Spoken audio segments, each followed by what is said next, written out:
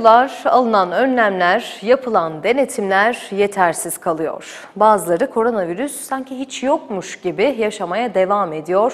Antalya'nın Konyaaltı ilçesi Liman Mahallesi'ndeki kapalı pazarda deyim yerinde ise virüse davetiye çıkarıldı. Sosyal mesafe unutuldu, maskesiz bir şekilde alışveriş yapıldı. İşte o üzücü görüntüler. Yapılan uyarılar ve denetimler yetersiz kaldı. Manzara yine değişmedi. Yerleşik Rus vatandaşların yoğun olarak bulunduğu Konyaaltı Liman Mahallesi'ndeki kapalı semt pazarında alışveriş yoğunluğu yaşandı. Daha önce önlemlerin olduğu pazarın giriş çıkışlarında bariyerler dışında herhangi bir önlemin alınmadığı gözlendi.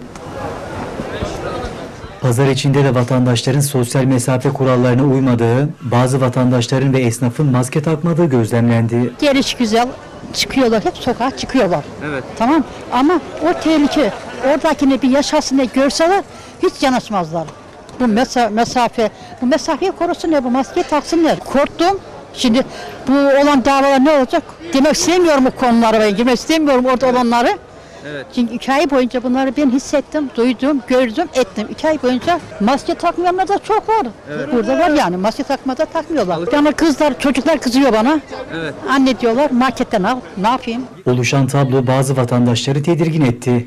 Bazı vatandaşlar pazar içindeki kalabalığı görünce alışverişini marketlerden yapmayı tercih etti.